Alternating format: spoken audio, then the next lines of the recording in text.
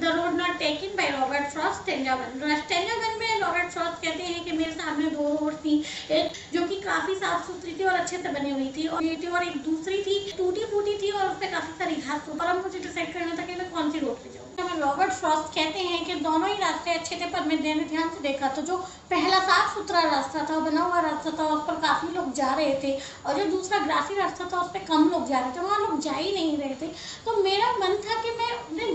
सोचा, फिर मैंने डिसाइड किया कि मैं दूसरे वाले ग्रासी रास्ते पर जाऊँ, क्योंकि मुझे लगा कि शायद वो मेरे लिए ठीक है, क्योंकि मुझे लगा शायद वहाँ और लोगों को जाना चाहिए। में रॉबर्ट फ्रॉस्ट कहते हैं कि मैं फिर जब वो ग्रासी रास्ते पर चल दिया, तब मैंने सोचा कि मैं किसी दिन लौट कर उस साफ़ सुथरे रास्ते पर भी चलूँगा। पर ज़िंदगी ने कुछ ऐसे रास्ते दिखाए, कुछ ऐसी करवट ली कि मुझे फिर उस रास्ते पर जाने का मौका कभी भी नहीं मिला। पर मुझे इस सब का अफसोस नहीं है। मैं जब पीछे मुड़ के देखूँगा या लोगों को बताऊँगा, कहूँगा अपने आप से कि मैंने वो रास्ता चुना जो मुझे सही लगा और जो जिसपे कम लोग जाते थे और उसी के रास्ते की वजह से आज जो मेरी ज़िंदगी है, वो उसी रास्ते की चुनाव की वजह से है।